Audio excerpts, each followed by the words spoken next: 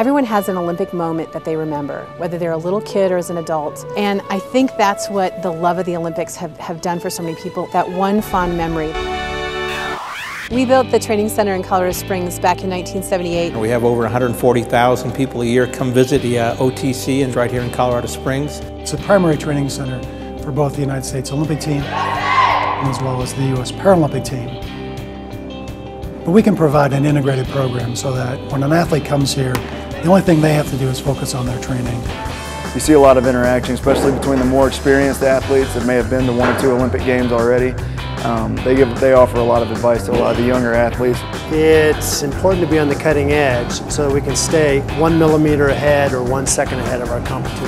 Ion Performance is an enhanced digital recording that allows the athletes to get instant feedback of their training or their competition. It's really around can we think ahead of our athletes and coaches just, just even one step? So we're the behind the scenes group so they can only think about world-class performances while we deliver the world-class service.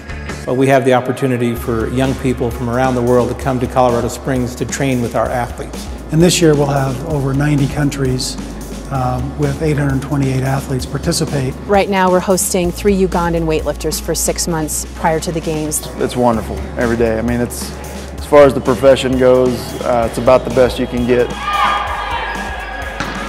Well, this facility and all of our funds come from the private sector.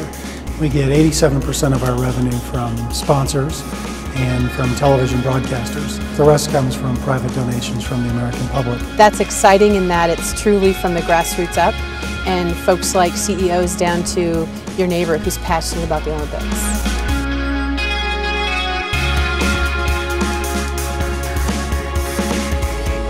We believe it's absolutely critical for the world to have an opportunity to come together peacefully at least once every four years in the Olympic Games. It's an example of what the world could be